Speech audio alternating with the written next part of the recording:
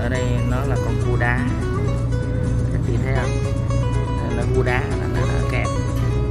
Cái này là con cua đá.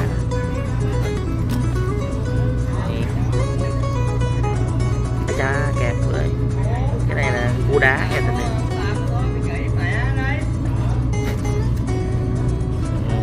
đây là con cua đá nha tình yêu ai da nó kẹp cứng nhắc luôn, bởi vì nó cái càng nó như đá là phải.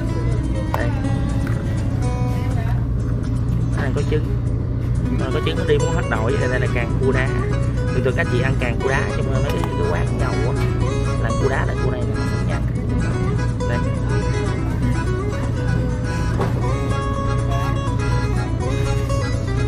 Càng cua đá là cua này.